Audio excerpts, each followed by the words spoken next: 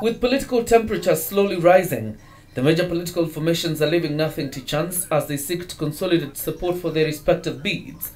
While President Uhuru Kenyatta was seeking support in Kisii, his deputy William Ruto was in Sirisia, Bungoma County, the home of rebel ODM MP John Waluke. He called on area residents to support the Jubilee administration, which he said had overseen major development projects in the area.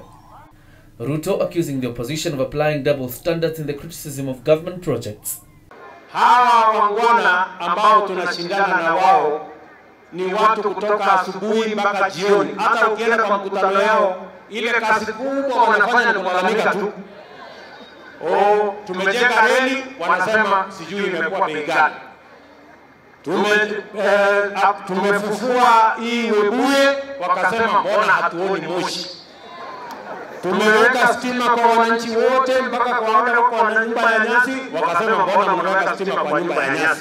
He further pleaded with the voters to elect Jubilee allied leaders who can work with the government in furthering development.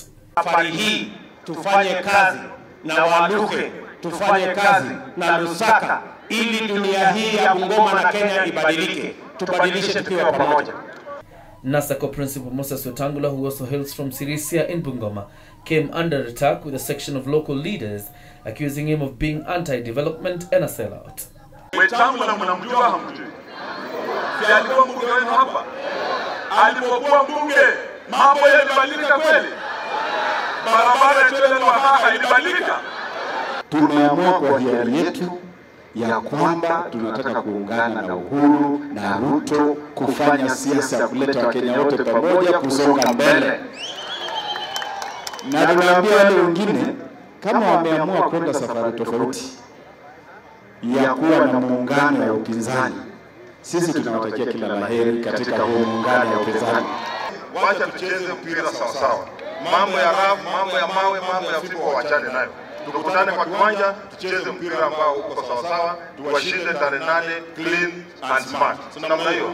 The Deputy President will be joined by President Uhuru Kenyatta campaigns in Western Kenya after the conclusion of his kisi and Nyamira tours.